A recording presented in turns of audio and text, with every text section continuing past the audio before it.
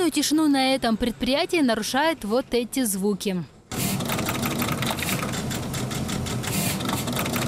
Вот так тут в три счета собирают платы. Они послужат основой для будущих домофонов. Скорость сборки просто фантастическая. 600 элементов на 4 на вот этой стороне. Он устанавливает где-то меньше, чем за 2 минуты, при том при всем, то, что здесь очень большая база корпусов идет. Все изменилось после того, как предприятие приняло участие в национальном проекте по повышению производительности труда. Руководство начало с модернизации техники. Специалисты Федерального центра компетенций помогли грамотно наладить работу на новом оборудовании. Сотрудники стали меньше отвлекаться на исправление погрешностей, а больше сосредоточились на усовершенствовании результатов. Из-за полностью написанной программы, которая присутствует, э, здесь стопроцентная э, уверенность того, что элемент будет стоять на, своей, ну, на своем месте. Не будет э, человеческих факторов, не будет человеческих ошибок. Здесь будет стопроцентная качественная сборка. Следующий шаг – оптимизация рабочего пространства. Было решено, пусть лучше время, которое сотрудник мог бы потратить на поиск инструментов, он потратит на выполнение своей работы. Рабочее место сотрудников этого предприятия напоминает рабочее место школьника, который теперь решил учиться на одни только пятерки. Если раньше на этом столе инструменты лежали как придется, то теперь каждому инструменту свое место. Такой порядок и дисциплинирует сотрудника, и процесс идет быстрее, и работу его теперь оценивают только на одни твердые пятерки. Перестроиться предприятию помогал Федеральный центр компетенции. Компания оказалась учеником способным, всего за год производительность тут увеличилась, а значит и продаж стало больше. В итоге от наставника им отличная оценка. Мы достигли действительно очень хороших результатов в процессе. Повышению производительности труда на 30%, сокращению времени протекания процесса на 30%.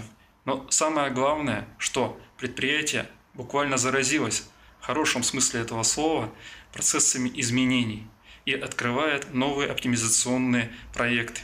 Внедрение этого значит, березливого производства как раз и дает тот эффект, когда значит, вроде бы в одно и то же время на том же, на том же рабочем месте можно делать больше, лучше, качественнее, с меньшими затратами. И это здорово. Предприятия края тоже могут заработать по-новому. Для этого нужно стать участником национального проекта и зарегистрироваться на сайте производительность.рф. Подать заявку и э, пройти соответствующие э, процедуры э, конкурсные.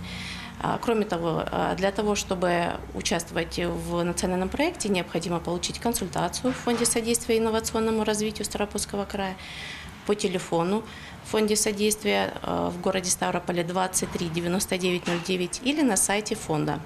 Экономно, но эффективно поработали Джемилия Ибрагимова и Олег Байкулов, Ставропольское телевидение.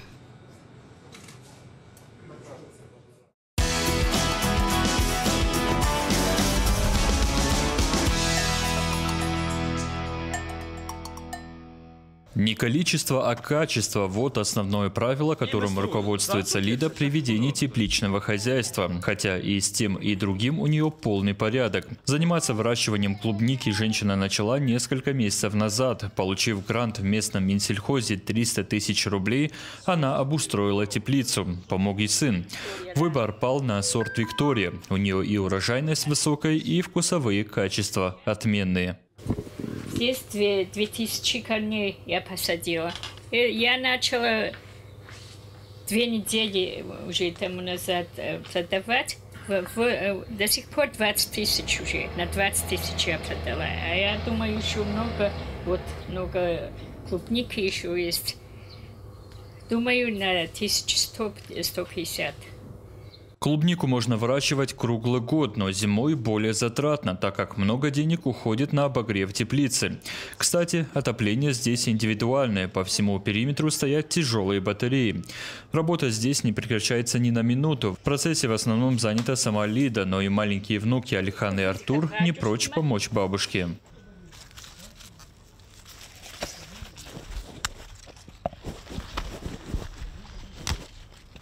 Прежде чем строить теплицы, Лида советует любую культуру попробовать и изучить. Она сама ранее занималась выращиванием овощей на открытом грунте, получала с переменным успехом.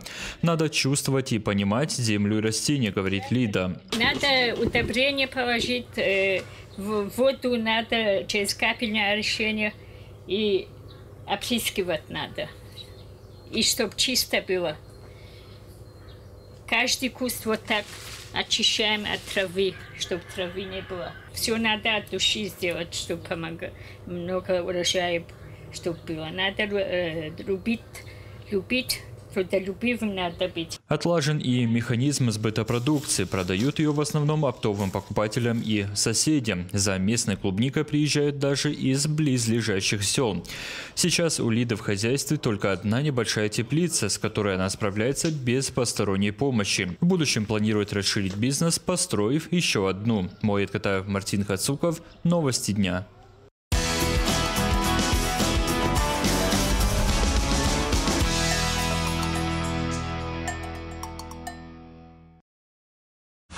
А, портрет, который я назвала «Время». Это именно время – герой почти всех ее портретов. Такая военная история в реальности. Потому что писать картины ветеранов Александра Тарасова начинала еще с личной встречи. Может быть, поэтому на полотне все в точности. И блеск памятных медалей, и задумчивый взгляд Нины Бугримовой. Сложно поверить, но эта скромная женщина в косынке участвовала в освобождении Ставрополя в 43-м. Общение с этим человеком, оно удивительное. Когда ты видишь эту историю в реальности, показала мне свою девичью фотографию, которая подписана ее рукой. День нашей победы над фашистской Германией. Вместо тягостных будней в четырех стенах вдумчивое творчество, когда не отвлекаешься на дела и разъезды. Прямо на подоконнике и кисти, и тюбики с краской. В перерывах чай и любимая кошка Яшма. В дни самоизоляции Саша дописывает портрет Ивана Богданова. Связист, старший сержант, герой Великой Отечественной. На днях ему исполнилось 95. Ставим подпись, и портрет готов эти сюжеты, говорит, не получается не пропускать через себя, потому что они еще и про детство Сашиной мамы. Женщина родилась как раз во время войны, и жанровый триптих тоже написан в память об этом. Время скоротечно, и после каждого из нас останется память. Память о тех поступках, событиях нашей жизни. И вот после этих великих людей осталась наша жизнь. Мы продолжение. А продолжать свое творчество Александре Тарасовой пока что придется на балконе в компании хвостатой помощницы. Когда самоизоляция закончится, Саша обязательно покажет свои новые работы ставропольцам. Просто она уверена, всему свое время. В оттенке военных историй всматривалась Александра Слободская, Ставропольское телевидение.